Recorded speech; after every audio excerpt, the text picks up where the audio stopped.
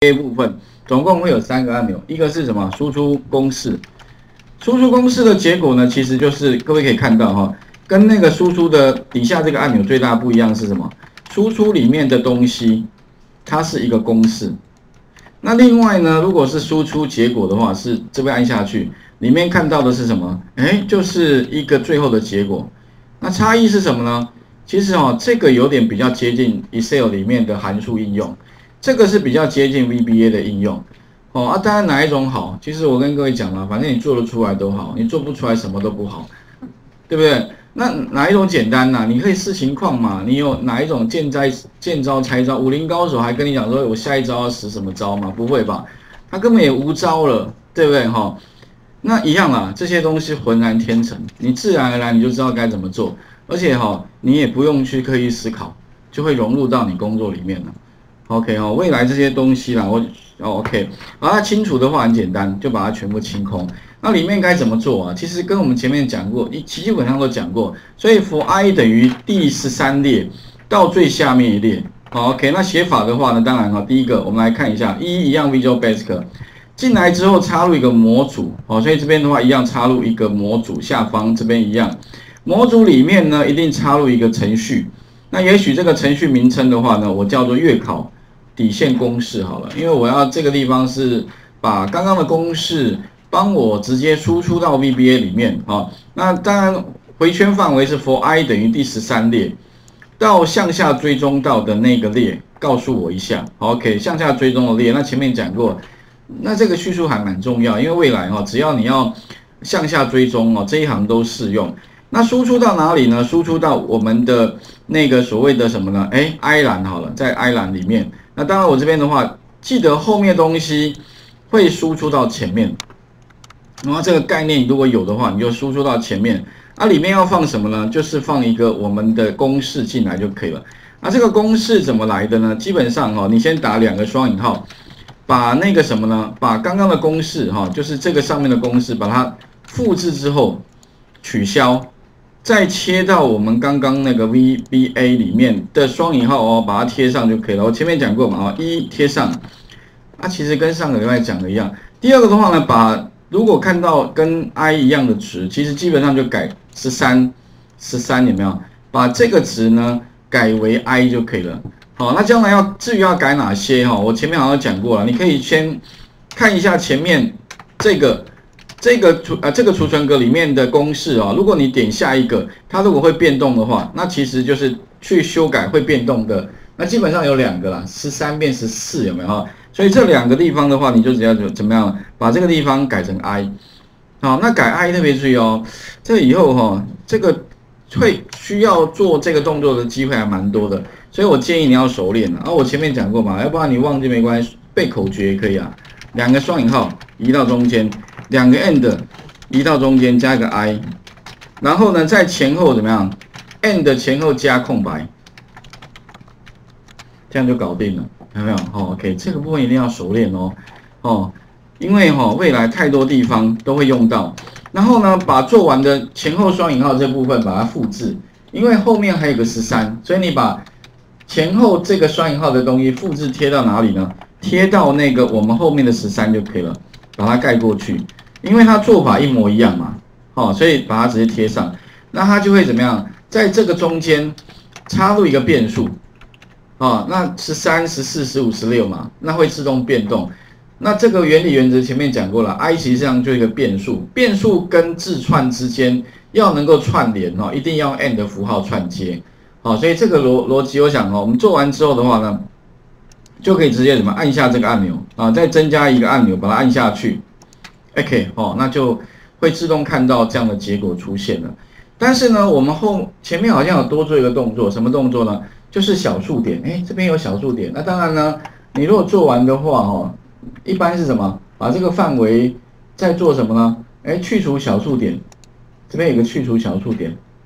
哦，如果你想说，老师，那可不可以一次性完成？你不要分两个阶段做。如果你要一次做完的话，哈，其实你可以在哪里呢？在这个后面哈加上一个叙述，哎，特别重要。如果你要希望把这里面的那个格式有没有？其实这个是格式，格式改成没有小数点的话，那前面是怎么做呢？前面是按滑鼠右，哎，其实就是这边有一个那个去除小数点。那实际上在格式里面哈，它就是一个什么呢？你会发现哦，格式里面呢制定，各位可以看到，其实里面就是格式就是一个零。如果说你今天要把这个格式里面这个零哈跟 VBA 连接的话，那你记得就是可以把这个零。放在一个属性叫 number format local 里面就可以了。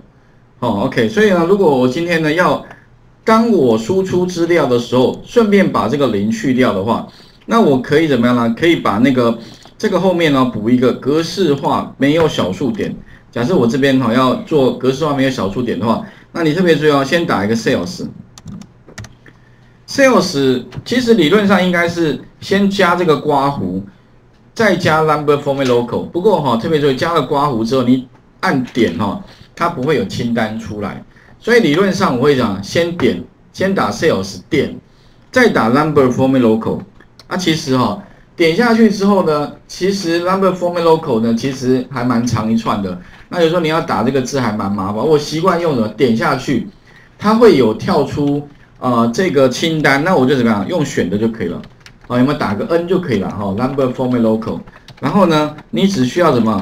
把这个 number format local，这个实际上等同于我们刚按滑鼠右键，储存格格式里面那个有没有？有个公式那个地方，那我丢一个什么东西给他？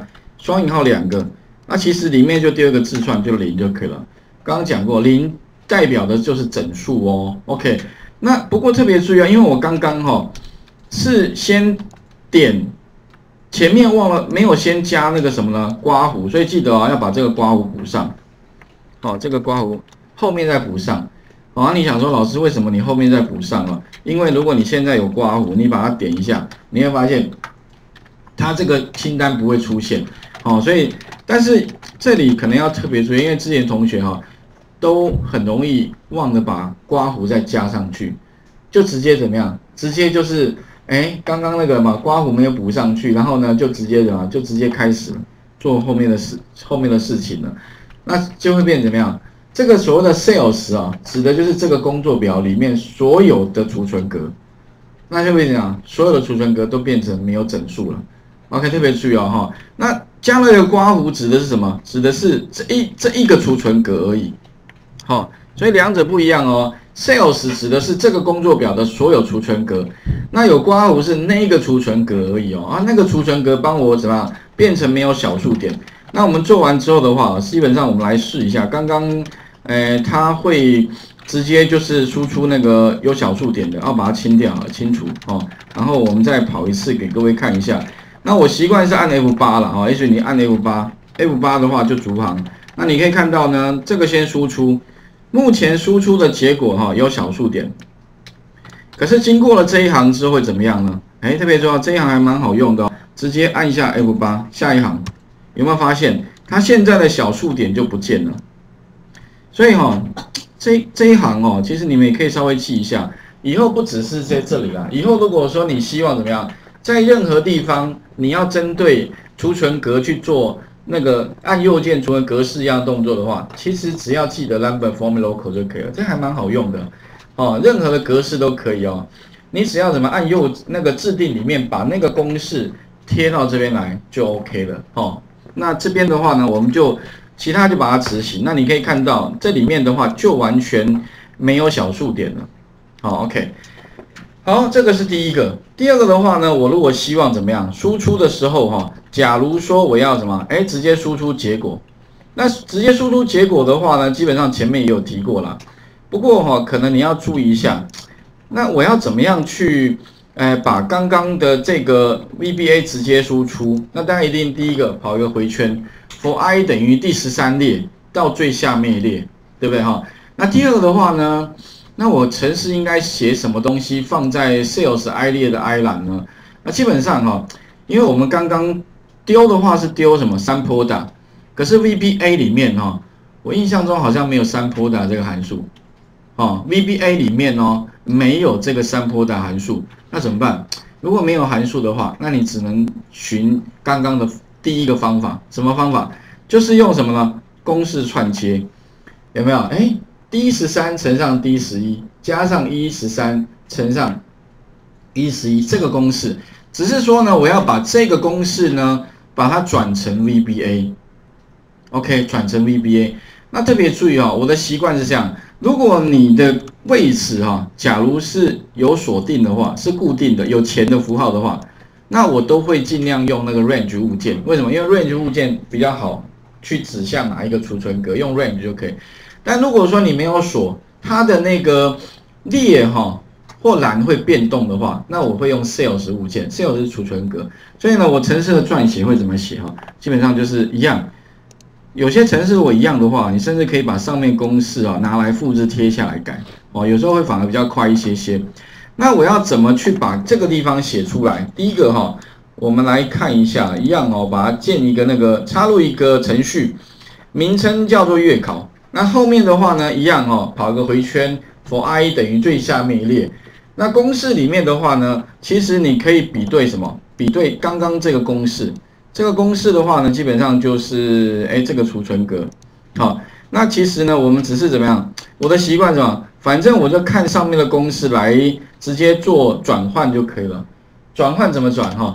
如果没有锁用 sales，所以我这边的话用 sales，刮胡哪一列呢？它告诉我呢十三列。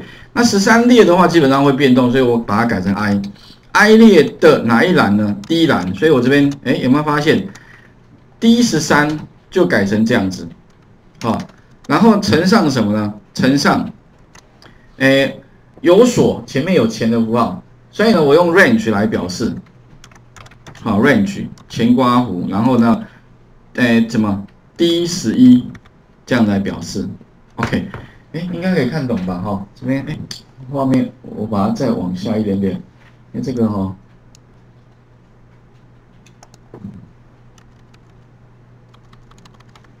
太上面了，，OK，好，应该可以看懂了哈。反正以后的写法，如果你要翻译的话，哎，就类似像这样子，这个改成这个。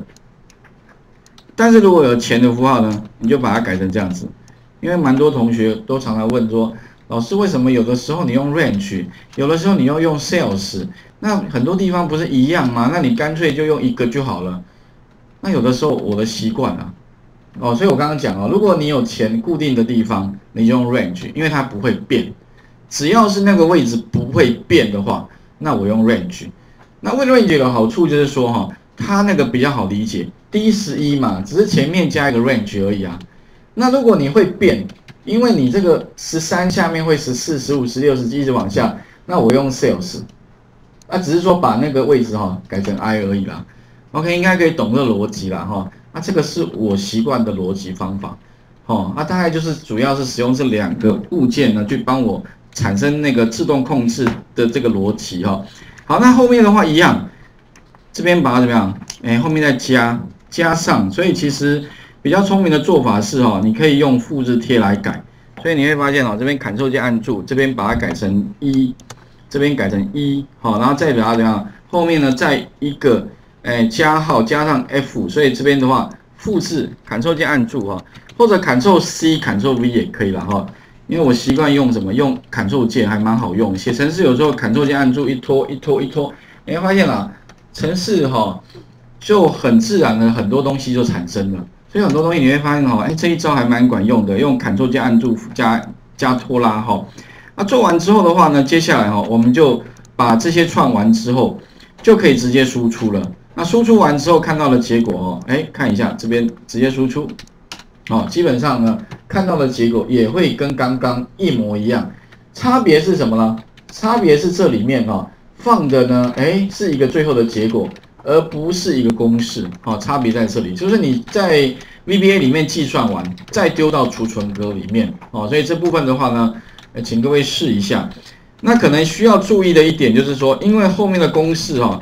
太过冗长了，所以如果你希望怎么样，希望把它折行的话，你可以怎么样，在运算符号的这后，我习惯在后面的空白，后面空白呢再加一个底线，你不要直接 enter，enter 会产生错误。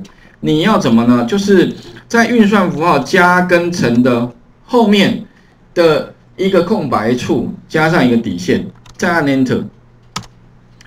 哦，哎，你会发现呢，它就不会出现错误。关键就在哪里呢？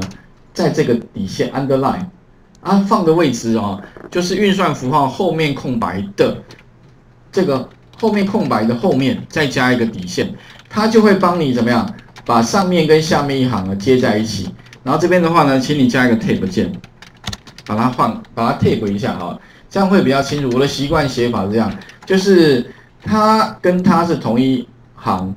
好，可是呢，我下一行呢，我习惯前面加一个 tab，那这样的话呢，程式看起来也比较清爽，啊，一目了然。所以你会发现哦，我还蛮强调那个 VBA 的写作的习惯，记得就是一定要该说牌的地方一定要说牌，该加注解的地方也要加注解一下。OK，那请各位试啊，清楚的话，我想前面都有讲过了，所以请各位哈，分别把这三个按钮哈，分别把它做出来好了哈。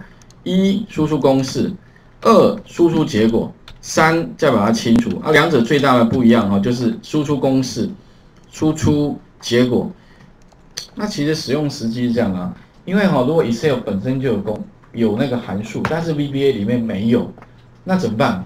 它很好用啊，那不然我就直接输出公式到储存格就好了，对不对？这样写法有时候反而变成说哈，这样的好处是左右逢源呐。呃，VBA 有我用 VBA，VBA 没有那我用 Excel，哦，所以两者的资源我都可以享用了，我就不用特别去想说，哎，这地方该怎么写啊？这两个方法的话呢，各自有各自优缺点，不过习惯上哈，还是会以那个 VBA 为主，然后呢，输出公式为辅，哦，因为主要原因啦，因为你如果输出公式的话，相对起来哈，它变成说。